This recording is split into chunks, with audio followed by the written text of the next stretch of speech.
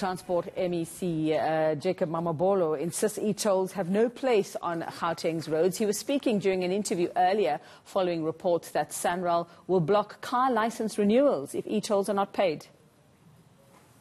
We, as the provincial government, we will definitely uh, spare no effort to completely oppose any attempt that seeks to bring back the e-tolls.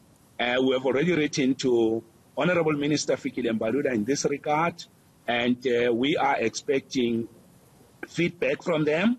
But from where we stand as the provincial government, no regulation should have a relationship with the e-tolling system that we have clearly said was unnecessary in the first place, bad financial modeling, bad risk management, and uh, this system has actually clearly demonstrate, demonstrated to everybody that is a system we shouldn't even have had in the first place.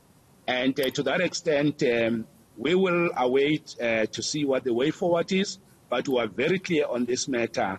Uh, the people of our province have overwhelmingly rejected e-tolls well, let's discuss this further now with Wayne Duvenage, CEO of OUTA, which has been uh, fighting this from the start. Uh, Wayne, good morning. And it seems more bullying tactics is what we're, we're seeing here. Am I right in, in, in calling it that bullying tactics? And to me, it sounds like, like really uh, another desperate attempt.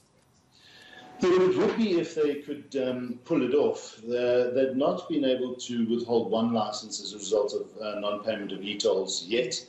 Uh, this was um, put into the AARTO amendments uh, to the Act uh, in, within the regulations to try and force uh, the public to pay their e-tolls. Uh, and, um, but the AARTO Act has not come into play yet. they intend to do so by July this year. and we, have a, we have a court challenge against AARTO, not only on its constitutionality, but on matters like this. There are a lot of uh, these regulations that are just impractical and unworkable and uh, that need challenging. So nothing's happened yet, but if they ever did get their way in this regard, we would fight that uh, mm. tooth and nail because what's happening here is you have a national uh, legislation that's impacting on, on, on local revenues, and mm. that's uh, that is uh, you know not allowed really in the separation of powers at both national, provincial level, uh, government level. So yeah, it'll be interesting to see if it ever comes about. We don't think it will, but yeah. nonetheless, it has to be challenged and it has to be fought.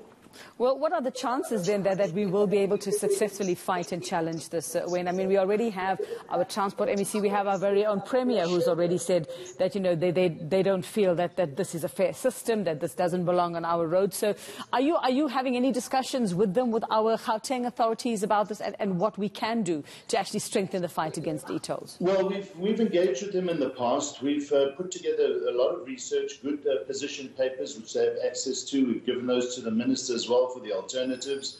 You must remember that uh, this is election year, so a lot of this is politics.